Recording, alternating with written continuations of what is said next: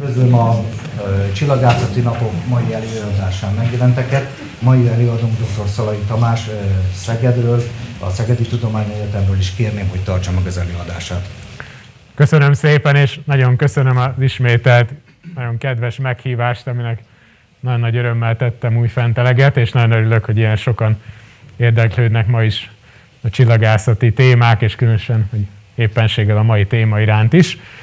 Ugye a cím az meglehetősen hosszúra sikerült, ami néha ijesztően szokott hatni, remélem, hogy ma ez nem így lesz, és olyan dolgokról számolhatok be, olyan dolgokról mesélhetek, ami mindenki számára reményem szerint érdekességeket tartogat majd. A világűrből indulunk, megnézzük, hogy a világűrből, világűrben elhelyezett csillagászati távcsövekkel miért is érdemes csillagászati megfigyeléseket folytatni, és hogyan tudunk mi magyar csillagászok akár itt a közelben Szegeden vagy Baján dolgozó csillagászok is bekapcsolódni ezekbe a nemzetközi szintű kutatásokba. Majd pedig a legvégén eh, kimondottan helyi érdekeltség dolgokról lesz szó, Bács-Kiskun megyei újdonságról, elsősorban az STE, a Szegedi Tudományegyetem Bajai Obszervatóriumában zajló fejlesztésekről, de nem csak erről. Na, de akkor kezdjük a világűrrel. Ugye az, hogy a csillagászok a világűrt nézik, abban nincsen talán semmi meglepő. Az, hogy mindezt úgy tesszük, hogy a világűrből végezzük a megfigyeléseket, azért az már nem biztos, hogy annyira kézenfekvő. És hát erre nagyon sokáig, évszázadokig, évezredekig egyáltalán nem volt ilyen lehetőség az emberiségnek, de rögtön abban a pillanatban szinte, amikor az 1950-es évek végén megnyílt az űrkorszak, és emberalkotó eszközöket voltunk képesek a világűrbe juttatni. Egyúttal megszületett az űrcsillagászat is, csillagászati célú, csillagászati mérésekre képes eszközöket juttattak először földkörüli pályára, majd még akár jóval messzebb is bolygónktól. De hát miért is van erre szükség? Hát nem, nem elégszünk meg azzal, hogy innen a Földről mindenfajta egyre jobb eszközökkel tudjuk vizsgálni a égboltnak a mindenfajta csodáját. Hát talán ez mindenki számára nyilvánvaló, hogy legalábbis az az előnye biztos, hogy megvan a világűrből végzett megfigyeléseknek, hogy ott bizonyos körülmények biztos, hogy nem rontják el az észleléseket, például az időjárás, ugye az éjszaka-nappal váltakozás, ezzel ott egyikkel sem kell számolni egy világűrbe elhelyezett eszköznél, de van egy másik tényező, ami ennél még sokkal többet ad nekünk, hogyha a világűrből végezhetünk megfigyeléseket, mégpedig az, hogy a Föld felszínét az teljes elektromágneses színkép, tehát a mindenfajta sugárzások családjából. Csak egy nagyon-nagyon keskeny tartomány az, ami eléri. Tehát a Föld felszínén igazából csak ebben a nagyon keskeny, itt ilyen színes csíkkal jelzett, látható, szemmel is látható tartományban. Valamennyire az úgynevezett közeli infravörös, tehát a szemmel láthatónál egy kicsit hosszabb hullámhosszú tartományban, illetve a rádiósugárzások tartományában vagyunk képesek megfigyeléseket végezni. Minden más, amit az elektromágneses spektrumban és a fénynek a különböző hullámhosszú tulajdonságai közé, vagy csoportjába sorolunk, azok nem érik el a Földnek a felszínét. Ilyenek az ultraibolya sugarak, ilyenek a, a röntgen sugarak, és ilyenek a gamma sugarak, illetve, hogyha a látható fénynél hosszabb tartományban, hosszabb hullámhosszú tartományban tekintünk, akkor ilyenek a közepes és hosszú, hosszú hullámhosszú infravörös sugarak. Ugye, mint élőlény, mint ember, nagyon boldognak kell lennünk, hogy ez így van, hiszen hogyha a Föld felszínét akadálytalanul elérné akár csak a röntgen vagy a gamma sugárzás, ami a világűrből folyamatosan érkezik, hát az igencsak káros lenne az összetett életformákra. Gyakorlatilag mondhatjuk azt, hogy nem alakulhatott volna ki a Földön semmilyen összetett életforma, hogyha ezek a nagyon nagy energiájú sugárzások folyamatosan bombáznák a Földet. Úgyhogy ilyen szempontból a Földünknek a légkör, illetve a mágneses tér az egy nagyon komoly, az életet nagyon komolyan védő pajzs. Viszont hát a csillagászok, ők ilyen elégedetlen emberek, és mi akkor is azt akartuk, hogy de, de mi szeretnénk röntgen meg gamma csillagászatot végezni. És mi adta ehhez a motivációt? Tehát amikor megérkeztek az első felvételek világűrből készített eszközökről, akkor azonnal megértettük, hogy mi volt ennek a mögöttes indoka. Itt a felső sorban bélyek kép, úgymond bélyek képeket láthatunk. Mindegyik képen ugyanaz a galaxis van. Ugye itt középen látható fénytartományban talán jobban felismerhető. És hát hogyha az ember nem látott még ilyet, akkor nem mondaná meg első, hogy ez biztos ugyanaz az objektum-e. Hát teljesen más, hogy néz ki, egész más irányú, egész más része tűnik sugárzónak, tehát gyakorlatilag, mintha egy teljesen másik képet, egy teljesen másik égitestet néznénk.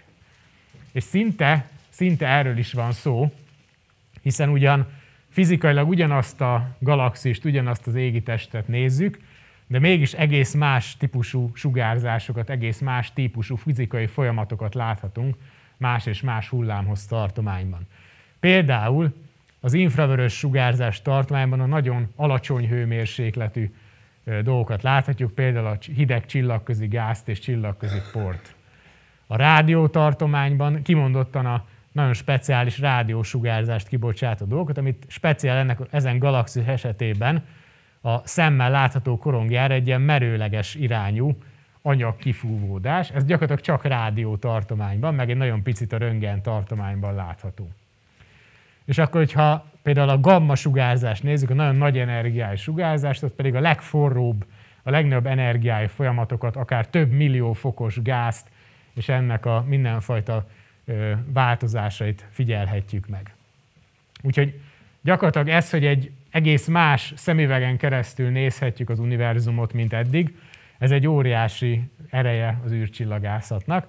És igazából, amikor különböző hullámhosszakon készült képeket összerakunk, összemixelünk egy ilyen közös képé, akkor tűnik fel igazán, vagy akkor tudjuk igazán megérteni, hogy milyen fizikai folyamatok zajlanak. Például itt ezekben az alsó ilyen ö, csillagközi csillag, gázfelhőkben, csillagrobbanásokból kialakult gázfelhőkben meg tudjuk állapítani, hogy hol vannak az alacsonyabb és magasabb hőmérsékletű zónák, hogyan mozognak ezek a rétegek egymáshoz képest, és akár olyan jelenséget is felfedezhetünk, amiket korábban ezen eszközök nélkül egyáltalán nem volt lehetőség. És hát speciálisan mondjuk az infravörös tartomány, amiről ma elég sokszor lesz még szó, ez abban is nagyon nagy segítségünkre van, hogy keresztül tudunk látni a segítségével a nagyon sűrű csillagközi gáz- és porfelhőkön. Itt az alsó képen egy nagyon híres, szemmel, szabad szemmel is látható égitestnek, vagy most egy, egy ilyen objektumnak, egy csillagközi gázfelhőnek a részlete van. Ez az Orion köd. Ugye az Orion csillagkép most majd hamarosan, ugye a téli hónapokban szépen fokozatosan egyre korábban fog kelni, és az éjszaka folyamán szépen megtekinthető lesz, és egy kevésbé fényszennyezett helyről tényleg szabad szemmel is látszik ott benne ez a kis ködösség, ez az Orion köd, ami valójában egyébként egy csillagkeltető, egy csillagbölcső, egy olyan helyszín, ahol éppen most folyamatosan születnek a csillagok. Tehát ilyen szempontból is óriási jelentősége van, hogy ezt élőben meg tudjuk figyelni. Legalábbis meg tudnánk figyelni, hogyha nem takarná el a látványt, nem takarná éppen a zajló csillagkeletkezési folyamatokat, ez a sűrű gáz és porfelhő. Egy szabad szemmel, vagy ebben a szabad szemmel is látható tartományban akármilyen jó eszközünk van, legyen ez egy 8 méteres távcső, vagy legyen a Hubble űrtávcső akár, nem fogunk tudni keresztül látni ezen a blokkoló por és gázfelhőn. Viszont, hogyha egy picit hosszabb hullámhosszakra térünk át, mondjuk az infravörös tartományban, akkor egyből, mintha ez a függöny itt széthúzódna, és belátunk a színfalak mögé, így ennek a segítségével tudjuk feltérképezni, hogy mi is zajlik ezekben a számunkra különösen fontos régiókban. És hát vannak még egyéb ö, előnye is az űrcsillagászatnak, amit most nem fogok annyira részletesen kihangsúlyozni, de talán ez az alsó ábra segít ezt kicsit jobban megérteni. Ahogy mondtam, ugye nincsen nappal és éjszaka váltakozása, tehát nem kell mondjuk egy adott helyről néhány óra után abba hagyni a mérést, mert fölkelt a nap. És ez például lehetővé teszi azt, hogy nagyon-nagyon pontosan egy adott jelenséget végig lehessen követni. Itt például egy ilyen csillagrobbanásnak látható a, éppen a pillanata, tehát itt a, ezek a piros pontok itt azt jelzik, hogy még nem történt, meg még nem történt, és hopp, hirtelen megtörtént, fölrobbant egy csillag. Ezt ennyire precízen, ilyen követéssel, ilyen résztességgel innen a föld felszínről gyakorlatilag teljesen esélytelen megfigyelni. Tehát az űrcsillag ezt ilyen szempontból is óriási fontosságú eszközöket adott a kezünkbe. És hát ahogy említettem, ez mindenfajta hullámhoz tartományban ma már rutinszerűen zajlik, a legnagyobb energiájú gamma, röntgen és ultraibolya eszközöktől egészen a hosszabb hullámhosszú, mondjuk infravörös eszközökig bezárólag. És hát bizonyos űrtávcsövek, például itt a képen látható a NASA-nak ez a SWIFT nevű űrtávcsöve olyanok, hogy folyamatosan készítik a méréseket, és egyből gyakorlatilag publikussá teszik, tehát minden csillagász, minden ember számára azonnal hozzáférhetővé teszik ezeket az adatokat. Természetesen nyilván annak számá, azok számára érdekes ez, akik tudják, hogy mit kezdjenek vele, de minden esetre tehát van egy ilyen típusa, van egy ilyen családja ezeknek az űrcsillagászti eszközöknek, ami egyből mindenki számára publikus, és eleve a programjuk is olyan, hogy fontosan pásztázzák az eget, amikor esetleg valami nagyon izgalmas történik, akkor célzottan oda is tudnak fordulni, de általában egy ilyen megszokott ütemezés szerint zajlik a munkájuk, és egyből publikusak az adataik. Viszont van egy másik kategória, és általában ide tartoznak az igazán nagy, igazán komoly tudású űrtávcsövek, például a már emlegetett Hubble űrtávcső is ilyen, vagy a közelmúltból a NASA-nak a Spitzer infravörös űrtávcső, vagy a még mindig működő röngen tartományú Chandra űrtávcső. Ezek a legjobb, a létező legjobb űrtávcsövek, ezek voltak az elmúlt két évtizedben, és ezeknek viszont olyan az időbeosztásuk, vagy olyan a mérési stratégiájuk, hogy erre lehet pályázni. Tehát a világ csillagászait évente egyszer vagy kétszer elérik ezek a felhívások, hogy na tessék most akkor mindenki szabadon beadhatja az ötleteit, a javaslatait, hogy mit mérjen mondjuk a Hubble űrtávcső. És ezek teljesen nyitott pályázatok. Tehát mi innen Magyarországról és bármikor pályázhatunk ezekre az űrtávcsövekre, és ha kellően jó ötletünk van, és kellően jól kidolgozzuk ezeket, és úgymond ebben a kemény versenyben sikeresen helytállnak, akkor ezeket a programokat az űrtávcsövek le is fogják mérni. És nagy örömmel mondhatom, hogy az elmúlt négy-öt évben Szegedről, Szeged Egyetemről nagyon sikeres ilyen űrtávcső pályázati munkát végeztünk. Általában nem egyedül, hanem külföldi, főleg amerikai, illetve néha nyugat-európai kollégákkal is összefogva, és sikerrel pályáztunk az itt felsorolt összes űrtávcsőre. Tehát Szegedről, szegedi közreműködésre az elmúlt években többször volt a Spitzer, a Chandra és a Hubble űrtávcsővel is mérés. Tehát még egyszer, ezekben az esetekben mi mondtuk meg, hogy mit mérjen, mit és mikor mérjen mondjuk a Hubble űrtávcső.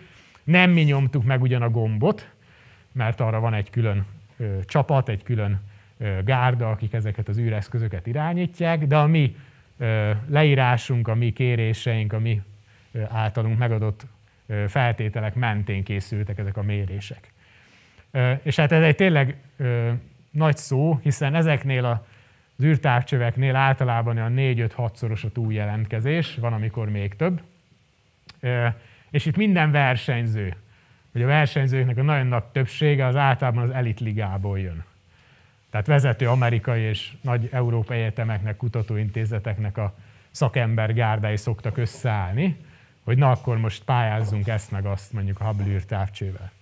Úgyhogy ez egy nagyon ö, sikeres időszak volt az elmúlt években, és hát ennek úgymond egy megkoronázása ö, lett az, hogy ö, 2020 novemberében ö, további pályázatokat adtunk be az akkor még csak indulás előtt álló James Webb űrtávcsőre, és ezek közül a pályázatok közül, mint kiderült fél évvel később, hogy a hatból négy az nyert. Tehát négy olyan pályázatunk van most éppen aktuálisan a James Webb űrtávcsövön, amiben szegedi közreműködéssel dolgozhatunk, és hogy már hamarosan mutatni fogom, ezekből már vannak eredmények is, valódi mérések a James Webb űrtávcsővel.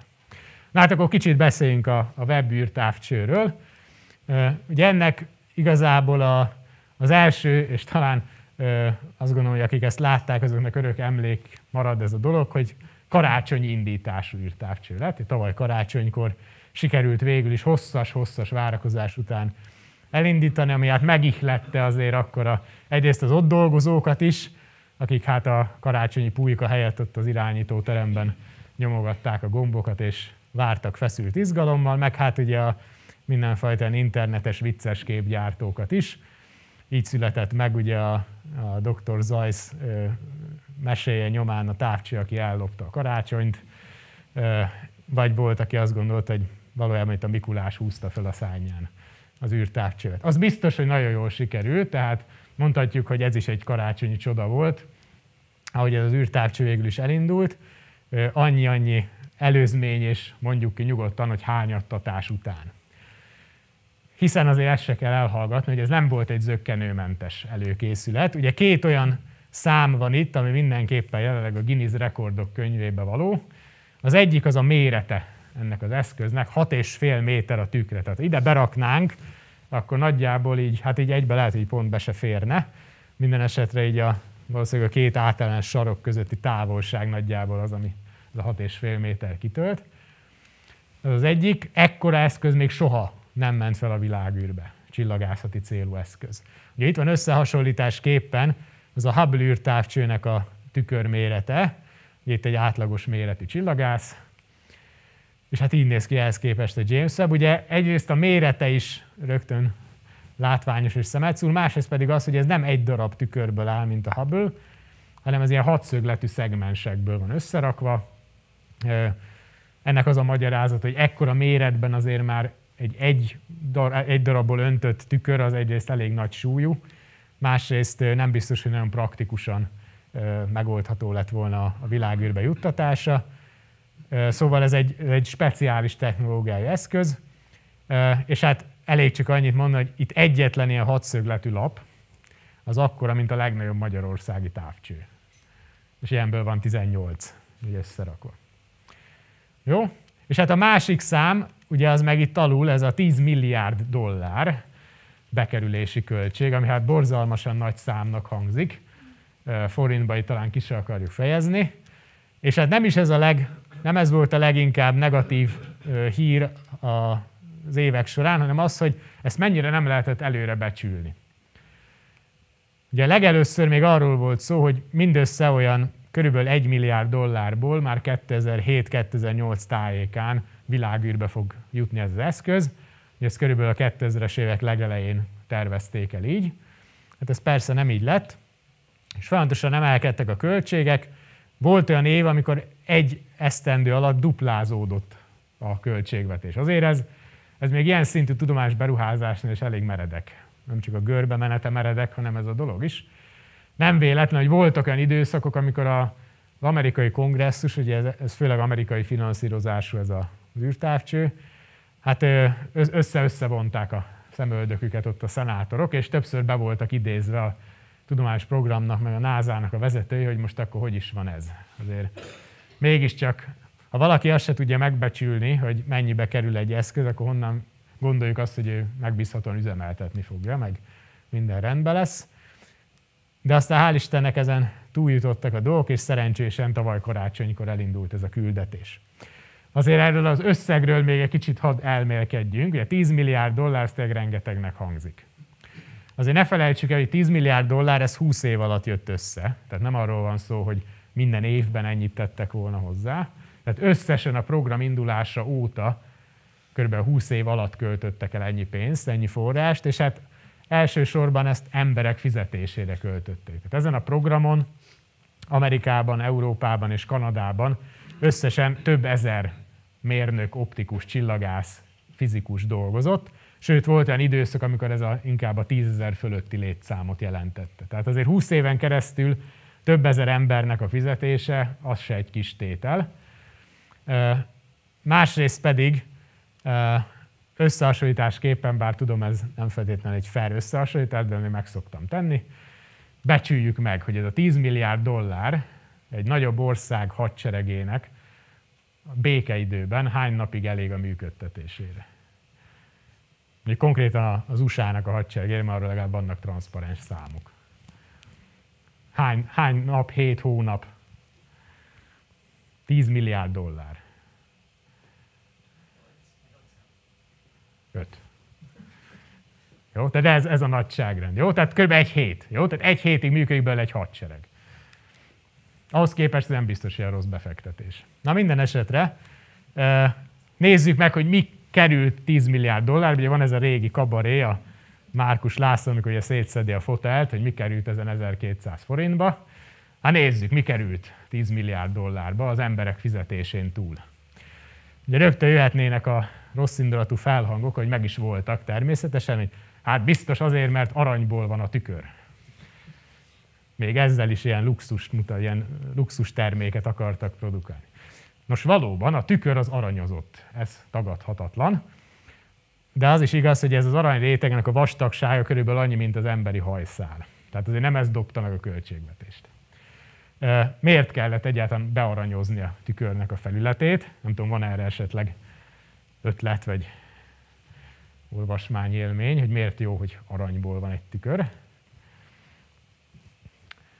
És igazából ugyanazért, amiért a mindennapi használatban lévő tükreink mondjuk alumíniummal vagy ezüsttel vannak borítva, ugye a lehető legjobb fényvisszaverő képesség miatt, és az infravörös tartományban, ahol az a James Webb űrtávcső működik, speciál pont az arany, ez a fém, ami a legjobb arányban tükrözi vissza a ráeső sugárzást.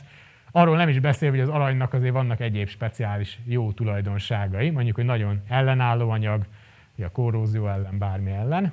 Maga a tükör egyébként főanyaga, főanyagát tekintve egy másik nagyon érdekes anyagból van, berilliumból. Ez a berillium, ugye ez valahol, aki kémia órára így halványban vagy élénkebben emlékszik, ez a periódusos rendszernek ott az eleje tájékán van, ami azt jelenti, hogy könnyű. Ez egy könnyű anyag, cserébe viszont nagyon ellenálló. Tehát olyan ötvezeteket, olyan anyagokat lehet bele készíteni, ami nagyon jól viseli a speciális körülményeket is. Hát pedig speciális körülményből abból aztán lesz itt bőven. Ugye a James Webb űrtávcső az az infravörös tartványon működik, ahogy említettem, és itt nagyon-nagyon fontos az, az infravörös detektoroknak a szempontjából, hogy azok tényleg a lehető legalacsonyabb hőmérsékleten üzemeljenek. Ugye látjuk, hogy itt be vannak vonva mindenfajta ilyen fóliával, ez is a hőszigetelést ö, célozza. Jogos lenne a kérdés, hogy de hát miért kell ezt a hókusz-pókusz csinálni? Hát kimegy a világűrbe, ott nagyon hideg van, nem kell tovább hűteni. De igen, ugyanis az a helyzet, hogy a világűrben csak akkor van nagyon hideg, hogyha éppen nem süt oda a nap. No? Úgyhogy ezt mindenképpen, amennyire csak lehetett, meg kellett oldani, hogy a napfénye az gyakorlatilag egyáltalán ne érje a távcsőnek a detektorait, sőt, nem csak, hogy a napnak zavaró a fénye az űrtávcső szempontjából, hanem a Földnek meg a Holdnak a sugárzása is, hiszen még egyszer ne felejtsük, infravörös tartományban vagyunk, infravörös tartományban a Föld meg a Hold is nagyon fényes. Úgyhogy ezeket is mindenképp valahogy ki kell védeni, Úgyhogy enne, mindezen sugárzások ellen egy ilyen óriási árnyékoló pajzsot, egy hő, hő és sugárzásvédő pajzsot alkottak, ami egy hihetetlen ötletes dolog. Ez öt réteg egymás alatt, mindegyik olyan vékony, mint az ember hajszála, és mindegyik akkora, mint egy teniszpálya. Öt teniszpálya egymás alatt, mindegyik emberi hajszál vastagságú. Jó? Ez az anyag, amiből van, ez egy régóta ismert anyag, az a neve, hogy kapton. Az a kapton ez egyébként kereskedelmi forgalom is kapható, manapság főleg elektronikai eszközökbe használják, de eredetileg az űrkutatás céljaira fejlesztették ki, mint oly sok minden egyéb dolgot, ami aztán bekerült a mindennapi életünkbe, ugyanúgy, mint a mikrohullámú sütő, a raktapasz, vagy akár a, nem is tudom, a, a wifi, tehát minden, amit űrkutatási csillagászati célokra fejlesztettek, csak ez most visszakerült űrkutatási célokra. Most tényleg ott lehetett leginkább alkalmazni, hiszen ilyen kihívás, egy ekkora méretű fóliát ilyen vékonyságban előállítsanak, ez azért nem semmi dolog. És hát ezután jött csak a, a nagyon komoly lépés, hogy minden előkészület, nagyon hosszas összeszerelési folyamat után beküldték hónapokra egy speciális kamrába ezt a távcsövet, egy vákumkamrába, ahol a világűrnek a körülményeit szimulálták. Nagyon alacsony hőmérséklet, nagyon alacsony nyomás.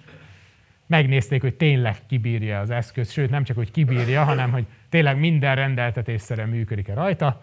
Majd pedig ezt követte a rázó teszt. Ugye ne felejtsük el, hogy ezt felrakták egy rakétára, egy óriási rakétára, és elindították. Egy csillagász kollégám szavaival élve, hát költsünk el 10 milliárd dollárt egy nagyon érzékeny űrtárcsére, rakjuk rá egy olajos hordóra, és gyújtsunk alá. Mi baj lehet? Azért lehetett volna baj, úgyhogy ezt nagyon-nagyon komolyan elő kellett készíteni, és ezen a rázó teszten is előzetesen megnézték, hogy kibírja majd az indítás körülményeit. És hát szerencsére, ahogy mondtam, mindent kibírt, és karácsony, kortavaj karácsonyi ebéd alatt magyar idő szerint megtörtént a űrtávcsőnek a felküldésén. Nagyon speciális helyzetben itt összecsomagolva egy rakéta orkúbban tette meg az első 1-200 kilométert, aztán leválta, leváltak róla rakétafokozatok, és elindult a, a világűrbe az útjára, hogy egy rendkívül messzi helyre kerüljön. Másfél millió kilométerre a Földtől. Ugye ez a másik indok, amiért ennyi időbe és ennyi pénzbe került az előkészítése, mert itt nem lehetett hibázni. Tehát ha valamiről kiderült volna, hogy jaj, rosszul csavartuk be a csavart, ezt senki nem tudta volna megszerelni. Utólag már. Ugye a Hubble űrtávcső az mindössze 450 kilométerre van a Föld felszínétől, tehát elérhető közelségben, és többször volt már egyébként példa, rögtön közvetlen az indítása után is, hogy űrhajósoknak kellett egy kicsit szerelni rajta. Kicseréltek rajta detektorokat, most is van róla szó egyébként, hogy a SpaceX program segítségével esetleg kicsit meghosszabbítják az életét, de hát az 450 kilométer, ez meg másfél millió. Négyszer olyan messze van, mint a Hold. Soha nem járt ember ekkora távolságban a Földtől, hát a Holdon se jártunk 50 éve. Az elmúlt 50 évben az emberiség az 500 kilométernyit ment el a Földtől. Jó? Tehát ezt nem lehet megszerelni. Ha bármi gond van, akkor annak annyi. Úgyhogy ezt úgy csinálták meg, hogy mindenre van ABCD megoldás, de ugye fizikai, nagy fizikai problémákat nem lehet megoldani, úgyhogy szoftveresen, meg ilyen mindenfajta tartalékrendszerek üzembe helyezésével lehetne operálni. És miért kell ilyen messzire küldeni? Miért kell másfél millió kilométerre küldeni? Megint csak azért, mert ez az infravörös tartomány, ez borzasztóan érzékeny, és se a Földet, se a Holdat nem tűri meg úgymond a közelségében, tönkretenni a méréseket az, hogyha a Földhöz közel vagy a Holdhoz közel lenne. Úgyhogy kénytelen volt a csillagász közösség ezt a megoldást választani, és speciál egy olyan helyet kellett találni a világűrben, ahol relatíve stabil helyzetben lehet, és a nap-föld viszonylatban pont ez a Földtől másfél millió kilométerre levő pont egy ilyen térbeli, egy kitüntetett térbeli pont, ahol tényleg évekig relatíve stabilan jó üzemeltetési körülmények között működhet majd az eszköz. Úgyhogy van is erről egy videó, azt másfél perc, és azt gondolom, hogy érdemes megnézni, aki még nem látta annak mindenképp, mert tényleg nagyon jól bemutatja azt a folyamatot, hogy mi is történt ezzel az eszközzel, miután elindult. Ugye nem elég, hogy túl kell élni az indítás körülményét, utána a világűrben kellett kicsomagolnia és üzembe helyeznie magát. Úgyhogy itt látszik ezen az animáción, hogy hogyan nyíltak ki napok alatt szépen sorban ezek az egyes alkotó részek. Először a napvédő pajzsnak a tartószerkezetei, aztán mindjárt hamarosan maga a napvédő pajzs is, közben a tükör is kezd szépen összeállni, mindjárt itt a napelemek is kinyílnak, amik az energiafelvételért felelnek, és most, most fog kinyílni az óriási napvédő pajzs. Ugye ez már éppen szilveszter napján volt. Ez egy fantasztikus, egy hónapig tartott ez a dolog, amíg ez így megtörtént, meg eljutott közben a másfél millió kilométerre lévő pontba. Zseniális dolog volt, és minden, minden működött. Mérnökök összeszámolták, hogy körülbelül 380 olyan kritikus esemény volt, amikor, ha nem működik százszázalékosan a dolog, akkor baj lehetett volna. Mind a 380 pont százszázalékosan működött. Jó, tehát azért itt ezeknek a mérnököknek, fejlesztőknek egy hatalmas elismerés és hatalmas dicséret, hogy ezt így meg tudták oldani. Jó, és hát itt már a végső fázis, amikor tényleg a tükör is összeáll a végső formájára, mint egy ilyen óriási virág, és elindult a, a másfél millió kilométerre lévő pontba, és januárban, január végén oda is ért. Jó, még egy-két kép az indításra, ez volt a búcsú pillanata, amikor az utolsó rakétafokozat levált az eszközről, és még a rakétafokozaton lévő kamera, kamera egy ilyen búcsú felvételt lőtt az eszközről. Utána pedig, itt az alsó képen látható, hogy egy földfelszíni távcsővel, egy 10 méter átmérő távcsővel megörökítették a már a Földtől másfél millió kilométerre lévő eszközt. Ez már csak egy ilyen kis poén, hogy előre, néhány csillagász előre megpróbálta kiszámolni, hogy milyen fényes lesz, és pont annyi lett. az ilyen kis önvállon volt, hogy na, milyen okosak vagyunk, hogy ezt is ki tudtuk számolni. Na de ami ennél fontosabb, hogy mire ez a nagy felhajtás. Tehát most oké, okay, láttuk, hogy mérnökileg ez egy csoda, sokba kerül, de működik, minden tud, amit kell. Miért érte meg, vagy miért érheti meg az emberiségnek azt, hogy 10 milliárd dollárt áldozzon erre? Ugye az elmúlt időszakokban is voltak nagyon komoly tudományos fejlesztések. Igazából a 10 milliárd dollár az nem, nem a legtöbb, amit egy projektre költött valaha az emberi nem. Ugye például a nemzetközi űrállomás az ennél 15-20-szor többe került, vagy ott van a nagy svájci részecske gyorsító, vagy ott vannak mondjuk az emberi géntérképet célzó felmérések, a géntérkép megismerését szóló célzó felmérések, ezek mind-mind ebben az árkategóriában mozognak. Mindegyik olyan, ami olyan kérdésekre keresi a választ, ami az emberiség szempontjából kulcsfontosságú. Rövidebb vagy hosszabb távon, de kulcsfontosságú.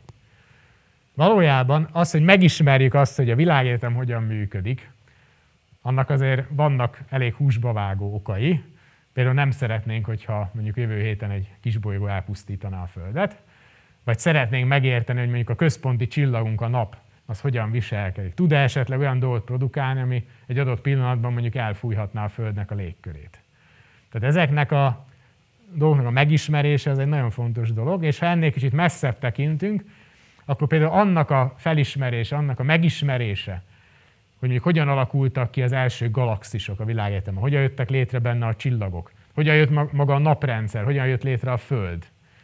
Ezeknek a megismerés, ez való az emberi önismeretnek egy ilyen kicsit kiterjesztett formája. És hát hasonlóan izgalmas az a kérdés, hogy mondjuk egyedül vagyunk-e a világegyetemben, mint civilizáció, mint bioszféra, mint egy élettel rendelkező bolygó. Úgyhogy ezek mind olyan kérdések, amire a James Webb űrtávcső, hogyha nem is végleges válaszokat, de az eddigieknél sokkal pontosabb és sokkal, úgymond az igazsághoz sokkal közelebb vívő válaszokat adhat. És talán nem véletlen, hogy az első tudományos felvétel, amit idén július 12-én tettek közzé, a nagy csinnadrattával maga Joe Biden elnök nyomta meg az entert, hogy leleplezzék ezt a képet. Ez egy szimbolikus kép.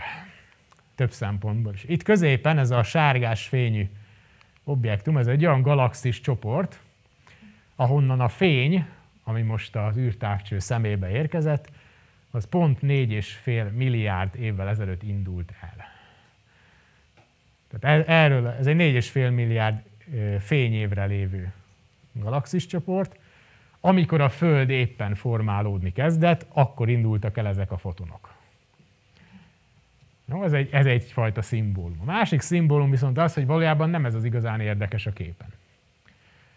Az igazán nagy durranás ezen a képen, azok ezek a vöröses színű ívek, itt a sárgás galaxis halmaz körül.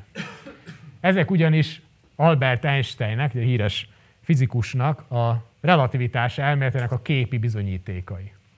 Ugye az ő egyik elmélete azt jósolta, hogy a nagyon nagy tömegek, nagyon nagy tömegű égi objektumok környezetében a gravitáció az gyakorlatilag meghajlítja a teret, és a mögüle érkező fény az gyakorlatilag ebben a görbült térben fog mozogni, ergo kicsit olyan, mint mikor a lencsével leképezzük a fényt. Ezt látjuk, egy úgynevezett gravitációs lencsézést látunk, és ezek a vöröses ívek két és félszer távolabbi galaxisokról jönnek. 13 milliárd fényévre galaxisokról. Ezeket máshogy még a James webb se tudnánk felfedezni. Csak ezen a módon.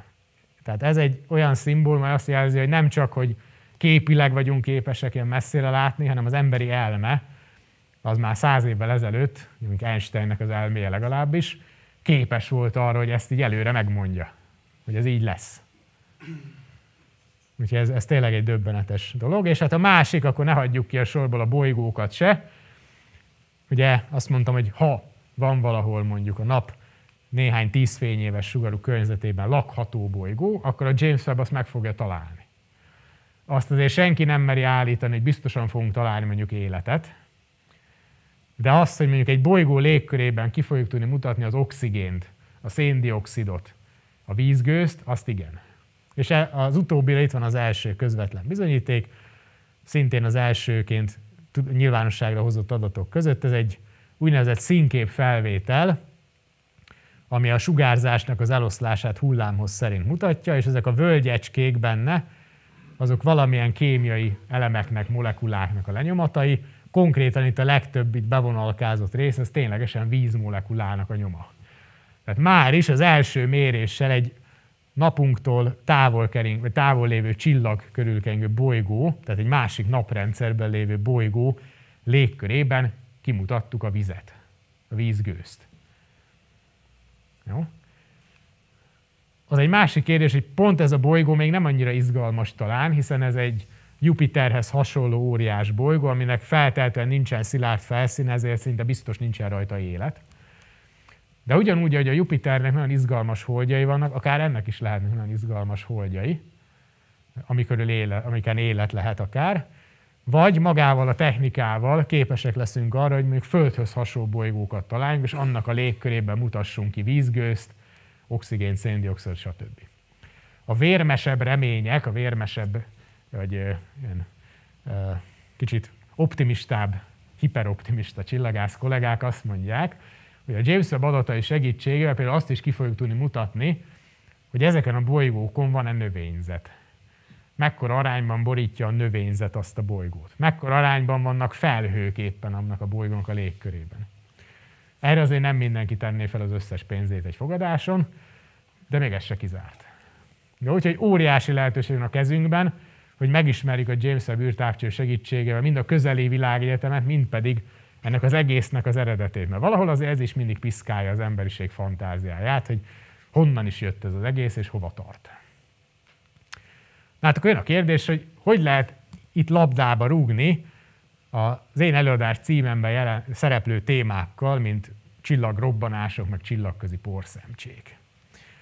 Hát kezdjük a csillagrobbanások. Ugye itt egy olyan ábra látható egy olyan képpár, ami most már nagykorú lett, pont 18 évvel ezelőtt készült, amikor az első egyetemista évenben az első gyakorlatomat töltöttem egy igazán nagy obszervatóriumban, a Mátrában lévő akadémiai csillagvizsgálóban, és ott egy ilyen csillagrobbanást vizsgáltunk, amely távoli galaxisban tűnt fel, itt ez a két fehér pálcika mutatja ezt a fénypontot, amit hogyha egy ilyen animált képen nézünk, akkor látszik, hogy néhány hónappal korábban még nem volt ott semmi, aztán hopp, hirtelen ott van egy új fénypont. Olyan, mintha egy új, új csillag születne, de valójában nem. Egy régi csillag hal meg éppen. Jó? Tehát itt egy pusztulást látunk, egy hatalmas robbanást, amiben egy csillag élete véget ér. Ez egy gigantikus erejű dolog. Már önmagában az, hogy egy olyan eseményt látunk, egy olyan energiájú eseményt, ahol egyetlen másodperc alatt annyi energia szabadul fel, mint amennyit a nap a teljes 10 milliárd éves élete alatt kisugároz. Ennyi idő alatt. Az nem semmi. Ha ismerős mértékegységben akarnánk leírni, mondjuk wattban, akkor kellene írni egy egyest, meg utána 44 darab nullát. Jó, ez egy, ez egy elég jó izzó. Na minden esetre nem véletlen, hogy ezeket a csillagrobbanásokat óriási távolságból is észrevesszük. Ez speciál ö, olyan 10 millió fényévre van tőlünk. Ez egyébként egy közeli galaxisnak számít. És ilyen csillagrobbanásokat keresünk, és ilyen csillagrobbanásokkal foglalkozunk már Szegedi Egyetemen már több mint 20 éve. És csak egy rövid ilyen kis összefoglaló ábra, hogy honnan jönnek ezek a csillagrobbanások. Ahogy mondtam, ez egy csillag életének a vége. De nem minden csillag élete ér így véget. Itt a függőleges tengen alulról fölfelé az egyre nagyobb tömeggel születő csillagokat láthatjuk, balról jobbra pedig az idő telik. Magyarul itt a különböző tömegű csillagok sorsát láthatjuk egyetlen ábrán. Alulról a harmadik sor a nap. A napunknál nem lesz ilyen gigantikus erejű robbanás, ott egy sokkal elnyújtottabb dolog lesz a végén. Ugye egyrészt a nap most élvezi a a kellemes középkorúság minden előnyét, 5 milliárd éves, jó kondiban van, nyugodt az élete, alacsony a pulzusa. Ellenben majd még 5 milliárd év múlva ez a helyzet ez kicsit meg fog változni, és kicsit meghízik, mindenfajta negatív körülmények lesznek, Minden esetre a vég azért nem lesz olyan drasztikus a dolognak, mert szép lassan le fogja pöfékelni magáról a külső rétegeit, hogy a végén csak egy ilyen inaktív kis fehér törpe csillag maradjon hátra. Ellenben a nagyobb tömegű csillagok, amik itt a felső sorokban láthatók, ők úgy látszik, hogy a 70-es évek híres amerikai rockénekes nőjének Janis Joplinnak a stratégiát követik. Ugye ő azt mondta, mint életfilozófia, hogy uh, live fast, die young, hát hogy élj gyorsan, haj meg fiatalon, ezt azért nem kell lemásolni. Öt a 28 alattiaknak mondom, nem kell ezt lemásolni. De minden esetre a nagy tömegű csillagok úgy tűnik, hogy tényleg ezt az utat járják. Minél nagyobb tömegű egy csillag, annál gyorsabban elégeti a rendelkezésére álló nukleáris üzemanyagot, és annál gyorsabban ér el ez energikus végkifejlethez, amit szupernóva robbanásnak, csillagrobbanásnak nevezünk. De igazából, hogyha ez csak erről szólna, hogy na, ez egy, egy pusztulás, egy ilyen destruktív folyamat, akkor ez, ez nem annyira érdekelné meg a csillagászokat se. A pláne ebben az, hogy amikor elpusztul egy csillag, akkor valami új születik. És igazából ez érdekel minket, hogy mi keletkezik akkor, amikor egy csillag elpusztul. Hát az első dolog, ami úgy tűnik, hogy keletkezhet egy ilyen nagy tömegű csillag robbanásakor, azok a nagyon izgalmas, úgynevezett kompakt nagy tömegű objektumok, fekete lyukak vagy neutron csillagok. Na jó, ez inkább csak az elméleti fizikusoknak izgalmas, nekik nagyon, nem véletlen, hogy az elmúlt öt évben kétszer kapott fizikai Nobel-díjat több olyan kutató, akik fekete lyukak fizikájával, meg ennek az extrém körülményel foglalkoznak. De azért valójában mindennapi ember számára ez még nem annyira izgalmas, talán. Lehet például távolságot is mérni ilyen csillagrobbanásokkal. Jó, ez se biztos annyira izgalmas. Minden esetre ezért is járt fizikai Nobel-díj. 2011-ben az itt látható három úriember azért kapott Nobel-díjat, mert a kollégáikkal megmérték, ugye nagyon távoli szupernóvák, szupernóva robbanások fényesség eloszlása, az arra utal, hogy a világegyetem gyorsulva tágul. Úgyhogy ez is egy izgalmas dolog volt, de számunkra az igazán izgalmas rész most következik. Úgy tűnik ugyanis, hogy ezek a csillagrobbanások vezettek szinte mindenhez, amit ma ismerünk a világegyetemben, itt legalábbis a naprendszerben biztosan. Kezdjük akkor az alapoknál. Ez itt gondolom, hogy a többség már barátságosan üdvözli a periódusos rendszert, viszont azért ilyen színezésben nem biztos, hogy sokszor láttuk.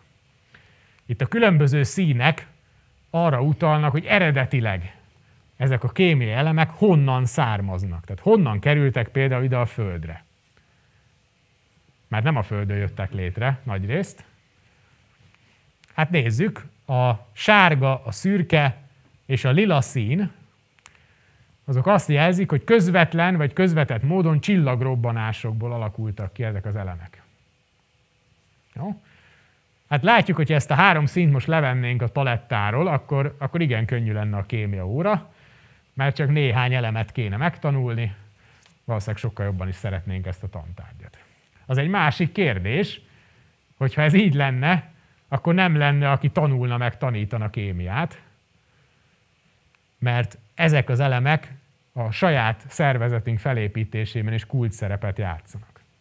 Jó? Tehát mindannyiunk testében vannak például vas, higany, arany, ezüst molekulák vagy atomok. És ez bármennyire is ilyen nagyon költélye hangzik, ez a csillagból került belénk. Tehát mindenkiben ezek az atomok egyszer, nagyon régen egy csillagban voltak. Jó? És ez nem kitaláció. Tehát egyszerűen azt kell végig gondolni, hogy ezek az elemek maguktól nem jöhetnek létre, és más elemekből se tudjuk átalakítani őket. Az alkimisták ezzel próbálkoztak évszázadokig hiába. Vasból csak úgy aranyat nem lehet csinálni. Ahhoz kell mondjuk egy ilyen csillagrobbanásnyi energia, egy egyessel, meg 44 nullával a végén. A Földön a közelébe se járunk ennek. Jó? Úgyhogy a csillagok viszont meg tudják csinálni. A csillagok, ami kémiai gyáraink, és legyártják a most az általunk látható univerzumban lévő csillagok, bolygók és stb. égitestek anyagait. És ami igazán szenzációs, hogy néhány évvel ezelőtt konkrétan meg lehetett mutatni azt, hogy itt a naprendszerben a naprendszerünk ősanyaga, az konkrétan úgy jött létre, hogy 4,5 milliárd évvel ezelőtt volt itt egy nagyjából hidrogénből és héliumból álló gázfelhő, és néhány tízmillió évvel azelőtt, hogy elkezdett volna összesűrűsödni ez a felhő, és kialakultak volna belőle a bolygók meg a nap, néhány tízmillió évvel korábban fölrobbant itt egy csillag. Meg volt a közelben néhány ilyen idősebb, öreg csillag, ami pöfékelt magából anyagot, és ezek az anyagok beszennyezték a naprendszernek a szülőfelhőjét, ezekkel a nehezebb elemekkel, és így épültek be a nap, meg a föld, meg a földi bioszféra, beleértve minket is, mindennek az anyagába. Jó? Ezt speciálisan ezt az eredményt szintén Magyarországon dolgozó, vagy részben Magyarországon dolgozó kutatók érték el. Az egyik vezetőjük egy olasz hölgy, Maria Lugaro, aki Budapesten dolgozik most már majdnem tíz éve. Zseniális hölgy, amellett, a világ egyik legnagyobb koponyája, négy gyerekes édesanyja is egyébként. Szóval ő és a csoportja is például ilyen témákon dolgozik. És amit mi Szegeden szeretnénk ehhez hozzátenni ez a témához, az pedig az, hogy emellett, hogy a kémiai elemek nagy része ilyen ö, csillagrobbanásokban alakul ki, vajon konkrétan azok a porszemcsék, amiből hosszú idő alatt mondjuk bolygók épülnek föl, mondjuk a Föld. Konkrétan ezek a porszemcsék is származhatnak a csillagrobbanásokból. A mi kérdésünk ez, mi ezt tettük föl. A világűrben is rengeteg porszemcsét látunk most is. Itt van bal oldalon egy igazi fénykép, egy csillagközi porszemcséről, amit a világűrből fogtak be. Ez egy ilyen néhány ezred milliméter nagyságú, az összetételére nagyon hasonló, mint mondjuk a homokszemek vagy a korom, tehát szén vagy ilyen szilíciumoxid tartalmú szemcsék. És úgy gondoljuk, hogy ilyen szemcsékből, 4,5 milliárd éve ilyen szemcsékből kezdett el összeállni, mint a Földnek az anyaga. Jó? Viszont, hogy eredetileg honnan jöttek ezek a porszemcsék ide, a naprendszer szülőfelébe, ezt nem pontosan tudjuk. Az egyik ötlet az az, hogy a napunk tömegével rendelkező nagyon öreg csillagok, a vörös óriással felfújoló csillagok pöfékelik ki magukból ezeknek a porszemcséknek az eredeti anyagát, és ebből jut el mondjuk ide a napre, jutott el ide a naprendszer szülőfelhőjébe is ez a por mennyiség. Ha csak a saját környezetünket, csak a saját galaxisunkat néznénk, ez még akár teljesen meg is állhatná a helyét az állítás, úgy tűnik, hogy itt minden rendelkezésre áll ehhez. Viszont ahhoz, hogy egy naptömegű csillag elérje ezt a fejlődési állapotot, és hatékony porforrás legyen, ahhoz legalább 5-6-8 milliárd év kell. Viszont mi látunk olyan galaxisokat, amik ennél sokkal fiatalabbak, és mégis tele vannak porral. Akkor ott hogy lett por? Akkor valami olyasmi kell, ami sokkal gyorsabban eléri ezt az állapotot, hogy port legyen képes termelni. Na ezek lehetnek a csillagrobbanások. Emlékezzünk, ugye, live fast, die young. Tehát a nagy tömegű csillagok néhány millió év alatt elérhetik ezt az állapotot, hogy fölrobbannak, születésük után néhány millió év alatt el is pusztulnak, és elkezdik a robbanás után termelni, vagy a robbanás következtében termelni ezeket a porszemcséket. Így nézhet ki egy ilyen csillagrobbanás, ez nem az emberi szemnek egy ilyen 3D-s ábra, pedig az is lehetne akár. Itt azt látjuk, hogy a csillagok nem a légüres térbe robbannak bele, hanem már a robbanást közvetlenül megelőzően kisebb-nagyobb ilyen kifújódások lehetnek a csillagról, és ennek az anyagában állhatnak össze például a porszemcsék, amit mi úgy fedezhetünk föl, hogy amikor fölrobban a csillag, akkor felfűti ezt a porszemcse mennyiséget, és ez pont infravörös tartományon fog sugározni. Na, mi ezt keressük. Erre adtunk be pályázatot, a James Webb infravörös űrtávcsővel, hogy mi ezt szeretnénk látni, hogy egy csillagrobbanás felfűti a környezetében lévő porszemcséket. Mi volt ennek az indoka, az alapja, és hogy kerülhet mondjuk ebbe bele egy csillagás Szegedről? Hát a kiindulás az ott történt, hogy én, én már 14 évvel ezelőtt, amikor elkezdtem a doktori tanulmányomat, akkor azt a feladatot kaptam az akkori témavezetőmtől, Vinko Józseftől, hogy hát figyelj, van itt ez a Spitzer űrtávcső, a NASA-nak az űrtávcső, ez készített mindenfajta fotókat szupernovákról, nincs -e kedved ezt elemezni, mert ezt még itt nálunk nem csinálta senki, érdekes téma lehet. És valóban annak tűnt. Először az ember annak körül, hogy letölt ilyen galaxis fotókat a, egy űrtávcsőnek az adatbázisából, és meglátja itt ezeket a fekete pálcákkal jelzett pontokat, hogy jé, ott van egy csillag robbanás infravörösben. Hát milyen menőn néz ez már ki. Főleg, hogy az infravörös tartományban még évekkel a robbanás után is látszanak ezek a fénypöttyök, míg mondjuk a szemmel látható fénytartományban legfeljebb néhány hétig vagy néhány hónapig. En már is megdobban a csillagás szíve, hogy jó, hát itt akkor évekig lehet követni egy ilyen csillag, fel, csillagrobbanásnak a következményeit. És még akkor se retten meg az ember, amikor kicsit nehezített a pálya, mert mondjuk azt látja, hogy hát itt mondjuk ebben a galaxisban lehet, hogy itt van egy csillagrobbanás, de az ebben nem vagyok biztos. Úgyhogy keresek egy korábbi képet, néhány évvel korábbit, kivonom a kettőt egymásból ügyes módon, és jé, ott van egy ilyen fehér pacni, ami megmarad, akkor az azt jelenti, hogy az évekkel korábban még nem volt ott, akkor az egy csillagrobbanás. Úgyhogy ezzel szórakoztam egy, egy-két évig, és végül lett belőle egy doktorim, úgyhogy annyira nem volt rossz befektetés.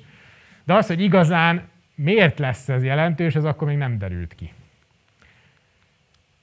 Erre éveket kellett várni, és ez néhány évvel ezelőtt 2017-18 tájékán következett be, amikor néhány más téma után visszatértem ehhez az ötlethez, ez a Spitzer űrtárcsőz, és az volt a hirtelen jött gondolatom, hogy hát én itt korábban csak olyan galaxisokat, vagy olyan képeket ellenőriztem, amiről tudtam, hogy ott kell lenni egy csillagrobbanásnak. Más adatokból, más forrásokból tudtuk, hogy ott kell lenni. Mi van akkor, hogyha azon a számos, sok ezer galaxis képen, amit egyébként ez az űrtávcső készített, véletlenül is vannak csillagrobbanások, amire nem számítottunk. Úgyhogy én nekiálltam és végig daráltam azt a sok ezer képet, ami ennek az űrtávcsának az adatbázisában volt. Nem feltétlenül csak szemmel, hanem mindenfajta ilyen programozott eszközökkel. Minden esetben azért sokáig tartott ez a dolog, de megérte, mert végeredményként az jött ki, hogy korábban összesen, teljes szakirodalomban összesen volt 200 ilyen ismert eset, én már még hozzá dobtam 900-at. Tehát mondjuk így egy ötszörös növelés sikerült elérni, ami úgy jól hangzik általában a tudományban. Na, most eddig ennyi volt, most meg van ötször több. És ez nem csak azért hangzott jól, mert jó, hát most van ötször több, hanem azért, mert ez már elegendő mennyiség volt arra, hogy végre statisztikai jellegű vizsgálatokat is lehessen végezni. Tehát végre átlépjünk a csúnya szóval hát ilyen bélyeggyűjtés korszakából az igazi fizikai elemzés korszakába, amikor már az egyes egyedi objektumokon túl ilyen nagyobb lépték összefüggéseket is lehet vizsgálni. Úgyhogy ez a, ez a szakcik, ami 2019-ben jelent meg végre, ez elég nagy visszhangot váltott ki. Mondjuk ez az is hozzájárult, hogy egy sok szempontból szerencsés időszak volt ez. Ugye egyrészt még pont a pandémia előtt, tehát még utazni is lehetett, másrészt pedig elég jól el voltunk akkor tájt látva kutatási támogatásra az egyetemen, úgyhogy mondhatjuk, hogy ezzel betúr, körbe turnéztem a világot ezzel az eredménnyel. És hát a, ezekben az években valahogy a szupernovás nemzetközi közösség elég extrém, egzotikus helyszínekre szervezett konferenciákat, Úgyhogy én például voltam ezekben az években Floridában, Mexikóban, sőt még a Húsvét szigeten is, ugye ez belül a csendes óceánban, a csillai partoktól 4000 kilométerre van, elég extrém hely volt, viszont itt csak a tudományra figyelt az ember. Máshogy nem nagyon vont el a figyelmét. És ezeken a helyeken most a, a turistáskodás mellett, ami szintén izgalmas dolog, Emellett tényleg az az igazi, amikor az ember eszmét cserél a többiekkel. Tehát tényleg megbeszélik, hogy na ez hogy van, mi a eredménye, mit lehet ebből kihozni, mi az, amit esetleg másképp kéne csinálni. És nagyon jó barátságokat, nagyon jó kapcsolatokat lehet építeni. Nyilván ez nem árt, hogy az ember azért jól beszél angolul. Ugye most a tudománynyelve az angol, ugye száz éve a német és a francia volt, 30 év múlva a kínai lesz, de most az angol. Úgyhogy aki még előtt áll esetleg a pályaválasztásnak, mindenképp ezt javaslom, hogy angol érdemes tanulni. Jó, és akkor itt például látszik egy ilyen eredmény, egy amerikai kollégával beszélgetek a eredményekről, miközben a új amerikai barátom a hátam mögött fotóz, és kiteszi a Twitterre a képet, hogy nézd már milyen jó, hogy itt együtt vagyunk, ilyen szupernovás fiúk. Na mindesetre az igazi eredmény az az volt, hogy a cikknek, meg a konferencia szerepléseknek köszönhetően, hát úgymond az ember beléphetett az elit klubba. Tehát innentől kezdve már úgy fölfigyeltek erre a, a munkásságra, és meghívást kaptam például több olyan nemzetközi csoportba, ahol a James Webb űrtávcsőnek a pályázati anyagait kezdték el előkészíteni. Most már 2020-ban járunk, ugye ez már sajnos ugye a, a pandémiának a, az erős időszaka volt, mindenki otthon ült a laptopja előtt, és mindenki nagyon e, nyilván e, nyomasztó állapotban. Viszont az az egyetlen előnye megvolt, hogy az online eszközök a korábbiakhoz képest is nagyot fejlődtek, és egyáltalán nem jelentett gondot számunkra az, hogy úgy rakjunk össze mondjuk ilyen tudományos anyagokat, hogy az egyik résztvevő közben Havajon volt, a másik Washingtonban, a harmadik tudom én, Szegeden, volt Koreában, és akkor így online, valós, idő, valós időben, online térben együtt dolgoztunk. Hát ki ki a saját időzónájában, de hát nyilván ennyi áldozatot azért meghoz az ember olykor-olykor, és haladtunk, és volt, hogy nagyon intenzív volt ez a munka, nyilván a határidő közelettével, így volt, hogy napi 10-12 órát ezt csináltuk, hogy ott ebben a virtuális térben ötleteltünk, dolgoztunk, újra csináltunk, vagy újra számoltuk. És hát végül is meg lett az eredménye, hiszen, ahogy említettem, a hat beadott pályázatunkból négy az nyert is, a négy vastagbetűvel szedett pályázatunk nyert, és itt most csak a jobb oldalon lévő számokra szeretném először fölvinni a figyelmet. Itt az első szám az azt jelzi, hogy összesen hány kutató alkot egy ilyen csapatot. Nyilván itt a vezető kutatókról van szó, hogy mindenki mögött azért vannak hallgatók, fiatalabb munkatársak is. De azért látszik, hogy ilyen, ilyen 10-20 fős közepes méretű csapatokról van szó. És a második szám pedig azt jelzi, hogy hányan voltunk Európából abban a csoportban. Itt van, a, van ott, hogy egy. De az voltam én. De ennél még büszkébb vagyok erre a felső pályázatra, ugyanis itt engem kértek föl, hogy legyek a vezetője ennek a csoportnak, egy amerikai kollégámmal együtt, és az a hat másik ember, akit úgymond vezettünk, ők olyan nem túl rosszul csengő nevű egyetemeken professzorok, mint a Berkeley, a Kaliforniai Műszaki Egyetem, az Arizona Egyetem, vagy a Louisiana Egyetem. Tehát ez, ez önmagában egy hatalmas élmény volt, hogy ilyen koponyákkal együtt dolgozni. Még ha egy pályázat se nyert volna, akkor se lettünk volna szomorúak. De hát ez lett a, a haba tortán, vagy a cseresznye a habon, hogy akkor tényleg e, nyert. Na és akkor Ugye ez volt tavaly márciusban, és akkor elindult karácsonykor az űrtávcső, januárban odaért a helyére, és júliusig minden teszt lezajlott, és idén júliusban elindult a tudományos program. Úgyhogy amire vártunk, oly sok idő alatt, ez most bekövetkezett. Csak röviden az, hogy az egyik kérdés, amire konkrétan keressük a választ, hogy mikor mennyi porszemcse jön létre itt a csillagrobbanások során, vagy utána, vagy mennyi porszemcsét látunk a sugárzás következtében. Itt igazából az a lényeg, hogy a alulról fölfele nő a por mennyiség, itt jó, alsó, a vízszintes tengeren az idő telik napokban, csak ez ilyen logaritmikus skálán van, tehát itt a vége fele már évek, évtizedek telnek el. És az érdekes, hogy az elméletek azt jósolják, hogy a szürke csík mentén kéne változni ennek a portömegnek, és a végére ide jutni. Csak az a baj, hogy az alsó rész az megvolt eddig is, hogy azt láttuk, hogy mikor van kevés por, de azt is szeretnénk látni, hogy van-e sok.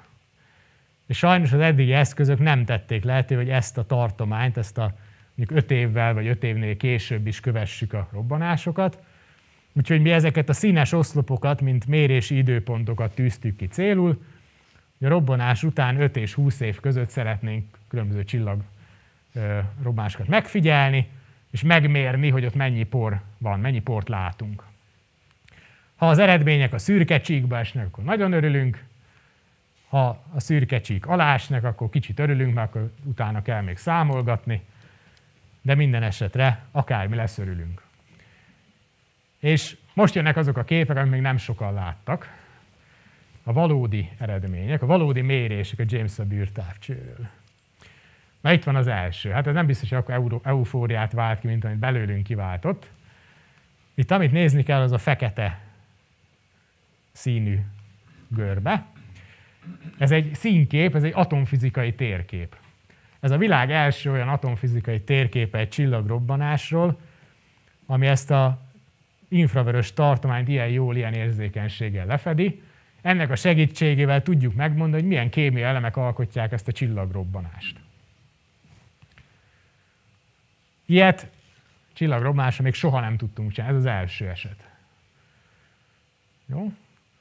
De talán ez egy kicsit látványosabb, mert készültek fotók is, fényképfelvételek.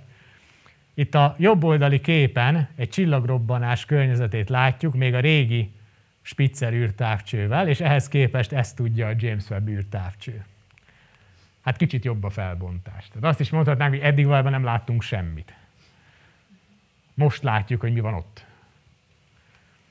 Úgyhogy ez, na, itt már tényleg a kisgyermeki öröm volt, hogy úristen, mi ez? Akarok még. Jó, hát lett még, lettek képek, és még olyan kép is lett, ami véletlenül találtunk szupernóvát. Tehát, hogy itt azért nem számított erre senki. Ezek nagyon célzott megfigyelések, tehát itt nagyon kicsi volt az esélye, hogy véletlenül még rácsusszon egy másik is, de hát megtörtént. Úgyhogy itt a, ez a fényes pöttyit a sárga kereszt mellett jelzi ezt a pont a kép szélére még pont ráférő csillagrobbanást. Ugye nem kettem, rögtön három objektumról írhatunk publikációt. Tehát egy ilyen véletlen másfélszeres szorzó az nem rossz. De egy kicsit még látványosabb is lenne, egy nagyon friss eredmény. Ez egy nagyon szép galaxis, amit a James Webb fotózott, ez a kart, a kocsikerék, azt hiszem magyarul kocsikerék galaxis, ahol szintén nem az volt a cél, hogy szupernóva robbanást találjanak, hanem az, hogy szép. De itt van egy csillagrobbanás. Ezt is megtaláltuk véletlenül. Ezt már le is lett publikálva azóta. Itt most nagyon pörög az ipar. Tehát most hirtelen nálunk például az volt az eredeti terv, hogy tavasszal lesznek a mérések, meg is kaptuk a beosztást, hogy tavaszra készüljünk, de egy technikai ö, ok miatt néhány mérésünket hirtelen áttették most szeptemberre. És amikor ugye úgy készül egy kutatócsoport, ugye előre meg kell tervezni egy csomó lépést, hogy jó, majd tavaszra kell a toppon lenni. Hirtelen szólnak, hogy nem, nem, már szeptemberben toppon kell lenni. Úgyhogy most, most erőltetett menetben próbáljuk elérni a csúcsformát, hogy sikerüljön. Minden esetre ez egy klassz eredmény, úgyhogy ennek nagyon örültünk, hogy ez például is sikerült. És hát most, a következő hónapokban ez reményeink szerint nagyon intenzíven és kiterjedt módon fog folytatódni, tehát rengeteg olyan eredmény fog születni csak a mi témáinkból, ami, amivel igyekszünk majd elönteni úgymond a, a világot, és hát még az összes többi. Tehát rengeteg eredmény váltó, már most is rengeteg cikk van, aki esetleg követi a James Webb űrtávcső honlapját, érdemes néha ránézni, csodálatos felvételeket készített már például a bolygókról, csillagközén gázfelhőkről, csak gyönyörködés szempontjából is érdemes megnézni. Na de akkor ne hanyagoljuk el az előadás címek második felét, hanem az utolsó néhány percet szeretném áldozni. Az pedig az, hogy amellett, hogy tényleg most már Magyarországról is rutinszerűen tudunk a világűrben lévő sok milliárd dolláros eszközökkel észlelni, amellett a föld felszínen sem áll meg az élet.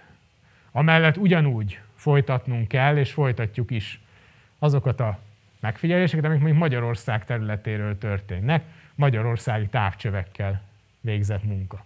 Itt a képen a már emlegetett Mátrai Obszervatórium, Piszkéstető Obszervatórium látható dróntávlatból, és itt ez a három kupola, ahol csillagászati távcsövek tartózkodnak, például ez a fekete, ez a legújabb eszközünk, amivel ilyen csillagrobbanások nyomait keressük galaxisokban.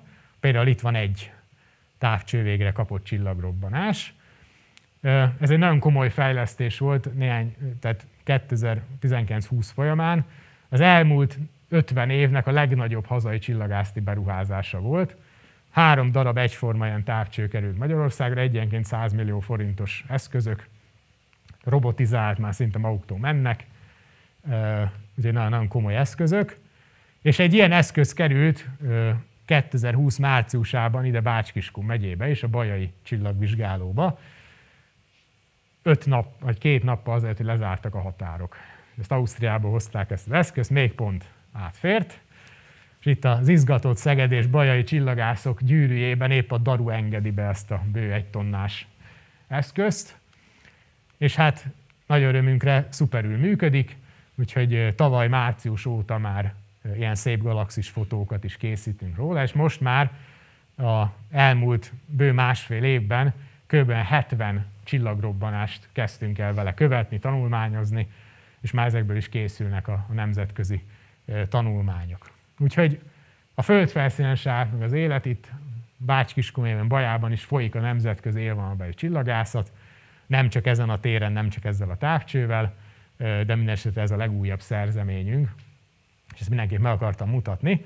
És ha szerencsénk van, még egy élő képet is láthatunk a, az obszervatóriumból. Remélem, hogy a fiúk dolgoznak, ugye ellenőrizzük. Mire jó a webkamera? Ó, nagyszerű, nagyon jó. Ez a élő kép. Tehát most így néz ki a csillagos égbajáról. Ez egy teljes égbolt kamera. Ugye itt még a lenyugvó napnak a fénye látható, de itt már mondjuk a Jupiter fölkelt, itt a tejút sávja, remélhetőleg most itt kint is ugyanilyen az idő.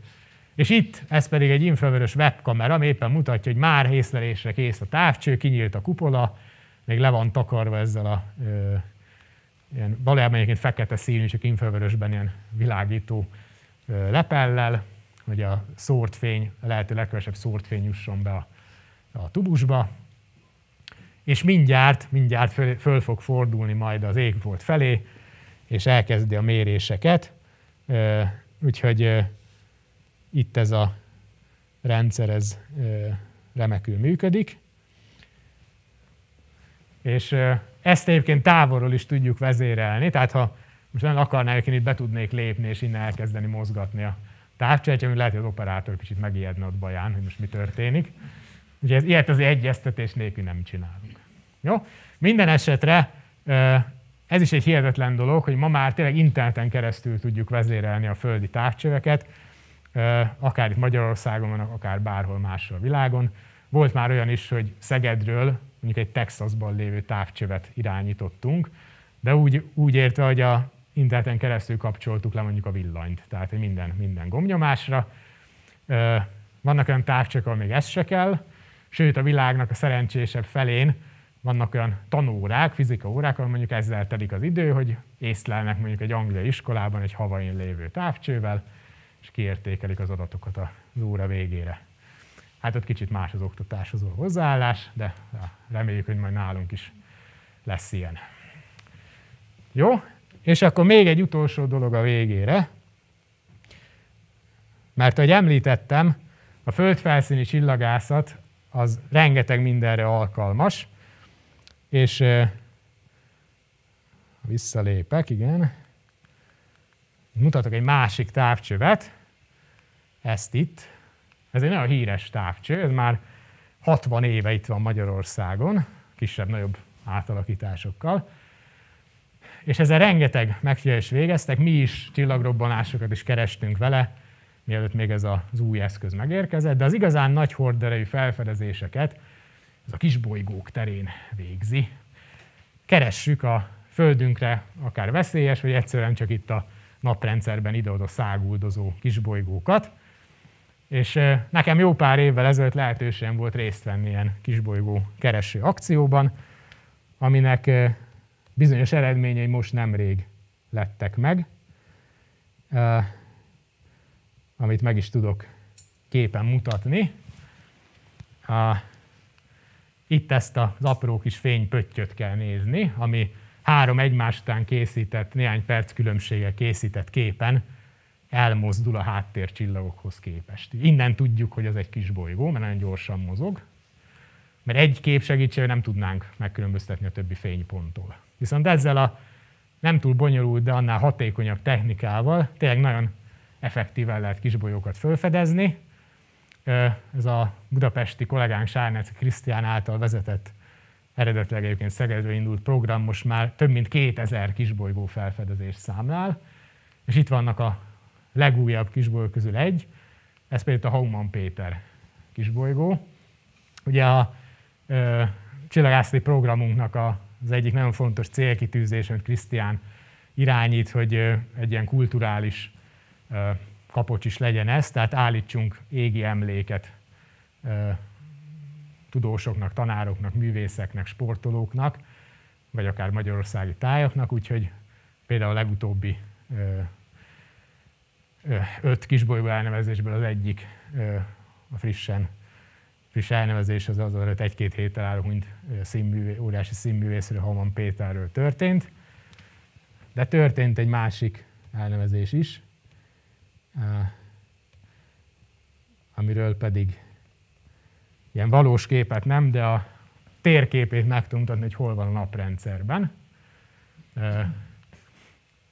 Ez itt a nagy narancssárga kör a Jupiter bolygó pályája, a belső piros az a Mars bolygó pályája, itt belül a kék a Föld, és itt kering ezen a fehér pályán egy kis bolygó. Nagyon sok kering itt, sok ezer, vagy valószínűleg több százezer kisbolygó, és ezek között találjuk meg a legtöbbet, és azért ezt emeltem ki, mert ez egy Bács-Kiskun megyei elnevezés.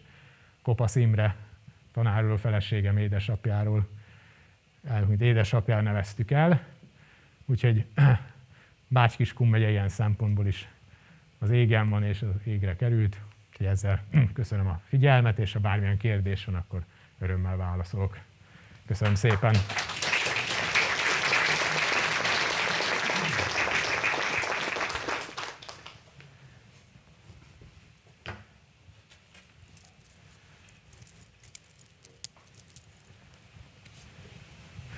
Tessék! Hírportálok, ahol lehetett olvasni, hogy sérült a webtárcsőnek egy tükre. Ez mennyire befolyásolja, illetve akkor az át is tudták hidalni ezt a problémát? Igen. Valóban ez egy elsőre elég ijesztő hír volt, még számunkra is. Amit mindenképpen először kell említeni, hogy visszalapozok oda, hogy nem véletlen azért ez az arany-berillium párosítás, tehát ezt előre sejtették, hogy így lesz, hogy itt azért érhetik komolyabb atrocitások ezt a távcsövet. Igen. Tehát az, hogy ott a világűrben úgy gondoljuk, hogy ez egy óriási hely és nagyjából üres, de azért nyilván rengeteg kisebb-nagyobb test mozogott, méghozzá nem is csak a méretük, hanem a sebesség az igazán nagy probléma. Ugye azért egy-egy ilyen világűrben mozgó testnek sok kilométer per másodperc a sebessége, tehát nagyon nagy mozgási energiája van, még az apró testeknek is.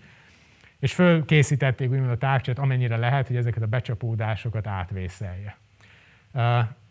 Itt nagyrészt az a szerencs, azért is jó, hogy ilyen egymástól független tükörlapokból áll, mert valóban az egyik tükröt májusban eltalálta egy ilyen becsapódás, de maga a tükör se sérült annyira szerencsére, illetve külön még egy picit rá lehetett mozgatni, hogy azt a nagyon pici elmozdulás, amit a becsapódás okozott, azt egyszerűen visszakorrigálják. Tehát sajnos nincsen jó képem. Egy-egy ilyen tükörnek az alján sok száz ilyen kis apró motor van, ami rendkívül finom módon tudja a pozíciót mozgatni. Ugye a felület az elég kemény, ez az aranyozott berillium, és egyébként még egy tükörnek az is az előnye egy tükrös rendszernek, hogy a képalkotást nagyon durván azért nem befolyásolják apróbb sérülések. Erre kiváló példa egy dolog, amit saját szememmel is láttam. Egyszer töltöttem egy pár napot a nyugat-texasi McDonald Observatóriumban, ahol van egy két és fél méteres távcső, két és fél méter tükör, és van benne egy golyó, egy pisztolygolyó. Mert a 70-es években az operátor az egyik reggel a feleségét egy másik emberrel találta az ágyban, és hát úgy gondolta, hogy a dühlevezetés legjobb formája az, hogyha megtölti a koltot, és amit lát, abba éppen belelő. Hát a távcsőtükör is így járt, viszont pont olyan helyen találta el, hogy bemérték optikailag, és az, az volt a legjobb stratégia, hogy ott hagyták, ahogy van és így egész jól lehet használni. Úgyhogy végül is reméljük, hogy azért nagy, azért nagy becsapódást nem kívánunk.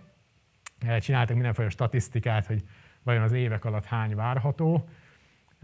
Remélhetőleg tényleg olyan váratlan esemény nem jön. Viszont egyébként ez nem okozott működési gondot, de most egyébként van egy valódi működési probléma, és ez okozta a mi méréseinknek az átütemezését is.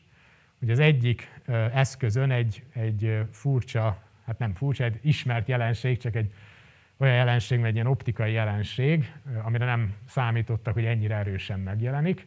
a képeken, úgyhogy most annak a technikai hiba elhárítása zajlik. Szerencsére úgy tűnik, hogy ezt szoftveresen távolról le lehet majd kezelni, de nem olyan egyszerű, tehát ez azért eltart egy darabig. Úgyhogy messz, azt nem mondhatjuk, hogy minden flottul megy, de ahhoz képest, hogy mondjuk a Hubble űrtávcsőn rögtön az indítás után életlenek voltak a képek, ilyen azért nincsen. Úgyhogy szerencsére ilyen szempontból minden rendben van. Ó, még esetleg. A kérdés? Tessék. Körülbelül mennyi várható élettartama? Azt lehet -e tudni, hogy üzemanyagban hogy van ellátva? Igen, ezt, ez megint egy olyan dolog, amit próbáltak a lehető legpontosabban belőni, és a lehető legoptimálisabban előkészíteni. Hihetetlen, hogy ez gyakorlatilag egy-két másodpercen múlik, amikor ez a pillanat történt. Ez volt a nagyon kevés pillanatok egyik, amikor az üze, a saját üzemanyagát használta az űrtávcső. Egészen addig a rakétának a hajtóereje vitte föl. Utána itt muszáj volt, hogy eltalálja az irányt, egy nagyon egy-két másodpercig tartó saját üzemanyag fogyasztás. És itt hogyha egy másodpercet késtek volna, vagy sietnek, akkor az lehet, hogy a működéséből 5 év mínusz. Ezt hálásnak elég jó belőtték, és amikor odaért a, a távoli pontba, akkor a keringési tesztek alapján úgy tűnik, hogy a lehető legoptimálisabb a működés, tehát jelenleg becslések olyan 15 évet mondanak. Viszont az biztos, hogy 15 évig az összes detektor nem fog működni. Tehát itt a talán ezen a képen látszanak ezek a becsomagolt detektorok. Ezek közül azok, amik a leghosszabb hullámhosszakon működnek, azoknak a hűtéséhez nem elég ez a mindenfajta napvédő fólia, hanem úgynevezett aktív hűtés is kell, ami azt jelenti, hogy folyékony héliumot tárolnak körülötte, és az hűti le ilyen extrém alacsony hőmérsékletre. Viszont a folyékony héliumot nem lehet 5-6-8 évnél hosszabb ideig egy tartályba zárni. Tehát nem, nem tudunk olyan anyagot létrehozni, amiből ne szivárognál egy idő után. Úgyhogy ezeknek a nagyon hosszú hullámhosszú detektoroknak ez fog korlátot jelenteni, mondjuk ez a 6-7-8 év. A többi detektor az elvileg működhet enélkül is. A Spitzer űrtávcsőnél is ez volt, hogy utána még 11 évig működtek a hűtőfolyadék elfolyása után. Úgyhogy itt is ezt reméljük, hogy mondjuk 6-7-8 évig működik az összes detektor, és utána még akár ugyanennyi időt maradék detektorokkal.